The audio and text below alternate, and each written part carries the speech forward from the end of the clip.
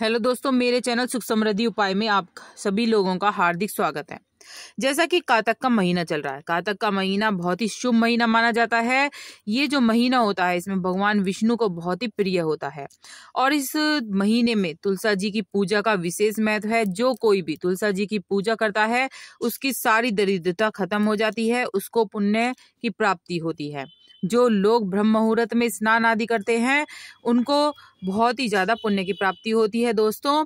जो तुलसी दल होते हैं, तुलसी दल में इतनी शक्ति होती है, इसकी जड़ में, इसकी मंजरी में मतलब पूरा तुलसी इतनी बढ़िया होती है कि घर में सुख समृद्धि हर तरह से हमारे घर में पवित्रता आती है और माँ लक्ष्मी का वास बना रहता है। दोस्तों, जो तुलसी का पत्ता होता है, तुलसी के पत्ते के ऐसे ऐसे चमत्कारी उपाय हैं जो आपको कातक मास में ज़रूर करने चाहिए।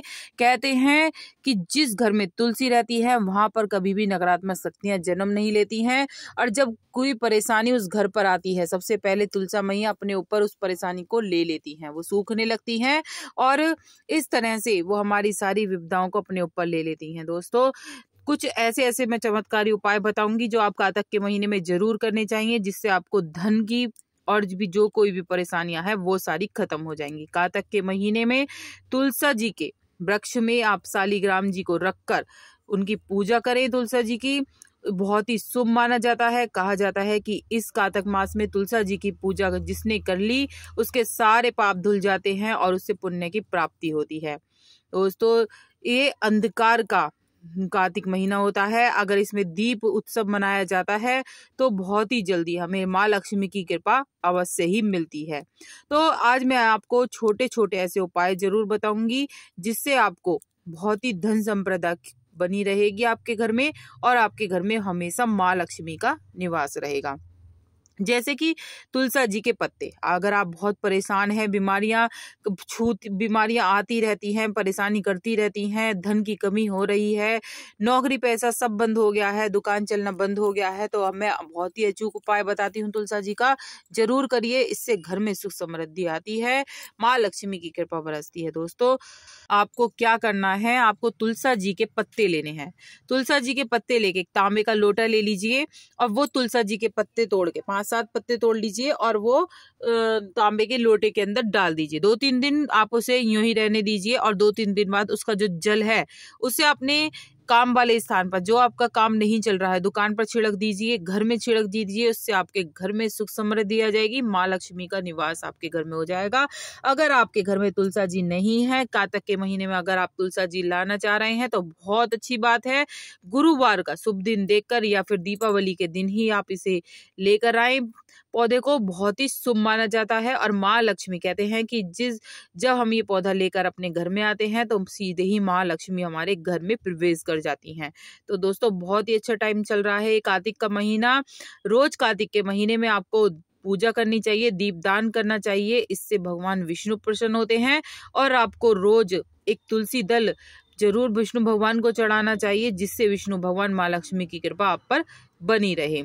आपको क्या करना है? जब आप जो पत्र चढ़ाएँगे तो आपको हमेशा उनके सिर पर ही चढ़ाना है। क्योंकि विष्णु भगवान जी को हमेशा उनके सिर पर ही पत्र चढ़ाया जाता है। उनके पैरों में पत्र नहीं चढ़ाया जाता है तो हमेशा उनके सिर पर ही रखें और अपने पौधे में शालीग्राम को स्थापित कर लीजिए और वहाँ पर दोनों के एक साथ पूजा करिए। विशेष महत्व चल रहा है कार्तिक महीने का तो आपको विशेष फल की प्राप्ति होगी।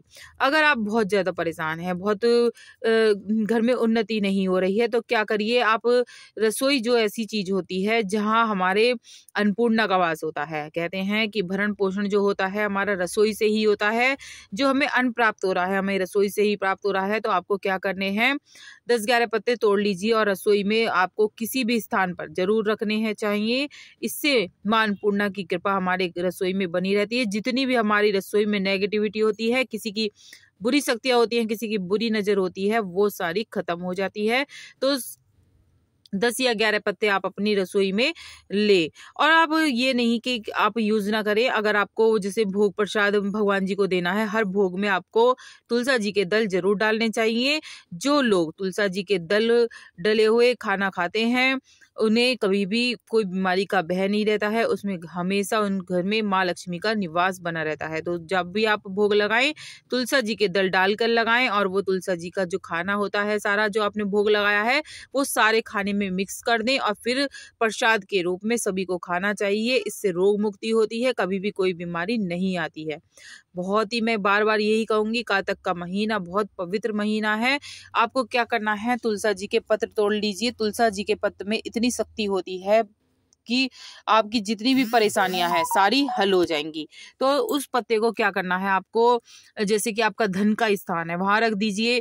आपको जो मान लो आपका पर्स है, आपके पर्स में भी दो चार पत्ते होने चाहिए। इससे जो होती है, वो चुंबक की तरह धन खींचता है। जो माँ लक्ष्मी होती है, वो खींची चली आती हैं। माँ लक्ष्मी का निवास तुलसा जी की जड़ों में होता है, जिससे हमारे घर में अपार धन्य की प्राप्ति होती है। जो लोग तुलसा जी में रोज दिया जलाते हैं, रोज पूजा पाठ करते हैं तुलसा जी की, उसके घर में कभी भी नेगेटिविटी नहीं आती है दोस्तों। उसके घर में हमेशा धन की बरसात रहती है। हमेशा आपको क्या करना है? गुरुवार के दिन आपको कच्चा दूध ज़रूर अर्पित करें माँ तुलसा को। कहते हैं, जो कच्चा दूध अर्पित करते हैं, उनकी जो मनोकामनाएँ होती हैं, जो मनोकामना मांगना चाहते हैं, वो सारी तुलसा मैया पूरा कर देती हैं। तुलसा मैया अगर आपके घर में है तो उनकी मंजरी हटाते रहें। उनकी मंजरी आपको शनिवार को हटानी चाहिए। कहते हैं कि शनिवार को मंजरी हटा के गुरुवार को उन मंजरियों की माला बनाकर भगवान विष्णु को अर्पित कर देनी चाहिए। ऐसा करने से हमारे घर में सुख समृद्धि बनी रहती है। माँ लक्ष्मी का निवास बना रहता है। दोस्तों, अगर आप बहुत ज़्यादा परेशान हैं, आपके धन नहीं रुकता है, अलमारी में पैसा नहीं रुकता है, बीमारियों में इधर उधर खर्च हो जाता है तो क्या करना है? तुलसा जी की जो मंजरी होती है, मंजरी को ले लीजिए, पाँच मंजरी आप ले लीजिए लाल कपड़े में बाँध कर किसी शुभ किसी शुभ समय पर, किसी अच्छे दिन में। जैसे कि अब दीपावली आ रही है, अगर आप इस टाइम पे करते हैं तो और भी विशेष फल की प्राप्ति होती है। तो पाँच तुलसा जी की मंजरी ले लीजिए, लाल कपड़े में बाँध कर अपने धन के स्थान पर ऐसी जगह रख दीजिए, जहाँ आप धन रखते हैं तो आप आपके घर में हमेशा माँ लक्ष्मी की कृपा बरसती रहेगी दोस्तों, और आपकी जितनी भी परेशानियाँ हैं, वो सारी आपकी खत्म हो जाएँगी। तो तुलसा जी की शक्ति का विशेष रूप से यही कहना है, इनकी जड़ों में, इनकी जड़ों में भी विशेष फल होता है हमें, अगर हम इनकी जड़ को भी प्रयोग करते हैं तो इनकी जड़ से विभिन्न विभिन्न हमारी परेशानियाँ समाप्त हो जाती हैं। अगर मैं बताने चली तो बहुत ही ज़्यादा लंबी हो जाएगी वीडियो। तो जान लीजिए कि तुलसा जी में, हमेशा आपको कार्तिक महीने में भजन कीर्तन करते हैं तुलसा जी के।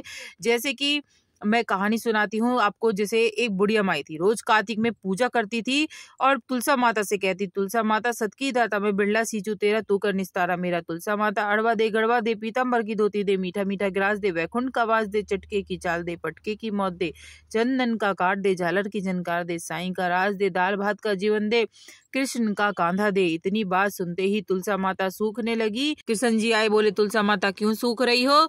तुलसा माता बोली, एक बुढ़िया माई आती, जो इतना कहकर जाती, मैं सब कुछ दे दूँगी, कृष्ण का कांधा कहाँ से दूँगी? तो किशन जी बोले तो चिंता मत कर, मैं दूँगा। एक दिन क्या हुआ? बुढ़िया माई मर गई, कातक का ही महीना था। सबको उठाने लगे, इतनी भारी हो गई कि किसी से उठे ही नहीं। तो भगवान बूढ़े ब्राह्मण का रूप धारण करके आए। बोले, इतनी भीड़ क्यों लगा रखी है? सब कोई कहने लगे, बुढ़िया माई थी, पापनी थी, किसी से नहीं उठती। भगवान ने कहा, मुझे भी अपनी मन की निकालन दो। उन्होंने कहा, मन की निकाल लो। भगवान ने बुढ़िया माई के कान में कहा, बुढ़िया माई तो बिरला सींचे मेरा मैं करूँ निस्तारा। तेरा बुढ़िया माई अड़वा ले, गड़वा ले की धोती ले। मीठा मीठा ग्रास ले वैकुंठ का वास ले, चटके की चाल ले, पटके की मौत ले, चंदन का काट ले, झालर की झनकार ले, साई का राज ले, दाल भात का जीवन ले, कृष्ण का कांधा ले, इतनी बात सुनते ही बुढ़िया माई हल्की हो गई, भगवान कांधे पर रख कर ले गए, उसकी मुक्ति हो गई। जैसी तुलसा माता उसकी मुक्ति करी, वैसी सबकी करियो कहते सुनते हुंकारा भरते सभी का भला। कहते हैं, ऐसी कातक की कहानी कही जाती है, बहुत ही पवित्र मानी जाती है। कहानी सुनने का कहने का बहुत ही ज़्यादा महत्व है। और जो इस में महत्तम पड़ता है, कहानियाँ करता है तुलसा जी की, उसे विशेष फल की प्राप्ति होती है, दोस्तों। तो मैंने अपने कातक की बहुत सारी वीडियो डाली हैं। महात्म की अगर आप सुनना चाहें तो सुन सकते हैं। ज़रूरी नहीं है कि आप, मैंने कहा तो सुने ही, आपको मन है, आप सुन सकते हैं। तो इस तरह से कातक का नहाना भी बहुत ही शुभ माना जाता है, जो कोई भी ब्रह्म मुहूर्त, क्योंकि ये सारे जो त्योहार आते हैं, वो सारे त्योहार इसी महीने में आते हैं, कातक के महीने में, और ये क्योंकि लक्ष्मी जी को और विष्णु जी को प्रिय है तो इस कातक महीने को ऐसे ना जाने दें। खूब उपाय करिए, खूब अपने पूजा पाठ करिए, जिससे माँ लक्ष्मी और विष्णु भगवान की कृपा आपके घर पर बनी रहे, आपके घर में सदैव माँ लक्ष्मी का वास रहे। वीडियो उपयोगी लगी तो लाइक, सब्सक्राइब ज़रूर करिए। कमेंट में जय माँ तुलसी ज़रूर लिखेगा दोस्तों।